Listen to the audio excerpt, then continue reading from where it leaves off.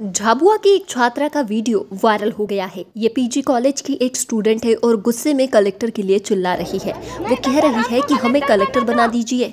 हम सबकी मांगे पूरी कर देंगे। क्या है पूरा मामला? आइए हम आपको बताते हैं। पीजी कॉलेज में पढ़ने वाली कॉलेज की छात्रा का एक वीडियो तेज़ी से वायरल हो रहा है। ये छात्रा अपने सहपाठियों के साथ कलेक्टर सोमेश मिश्रा को ज्ञापन देने आई थी। धूप में घंटों इंतज़ार के बाद भी जब कलेक्टर साहब उनसे मिलने नहीं आए तो गुस्से से भरी ये छात्रा चिल्लाने लगी। आपके पास वक्त नहीं है तो हमें कलेक्टर बना दो। हम सबकी मांगे पूरी कर देंगे। हम आपसे भीख मांगने नहीं आए हैं। छात्रा का ये वीडियो वायरल हो गया है। जब गरीब आदिवासी की बात नहीं सुनी जाती तो उसकी पीड़ा किस तरह निकल कर आती है? ये इस वीडियो में साफ़ दिख रहा है। छात्रा धूप में तप रहे हैं, लेकिन कलेक्टर साहब उनसे मिलने नहीं आए। फिर क्या था? लड़की ने कलेक्टर साहब को खरी खोटी सुना दी।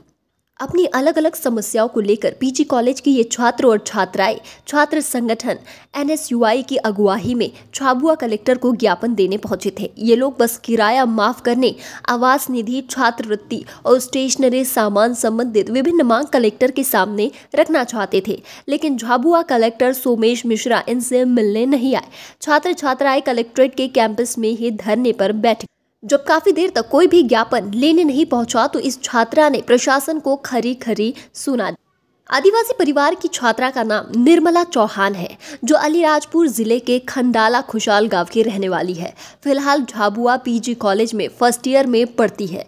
वो रोज बस से आना जाना करती है। काफ़ी धूप में खड़े रहने के बाद जब छात्रा की ओर किसी ने ध्यान नहीं दिया तो गुस्से से भरी निर्मला चिल्लाने लगी। हम अपनी समस्या बताने दूर दूर से आए हैं। हम गरीब आदिवासी, बस का किराया खर्च करके आए हैं।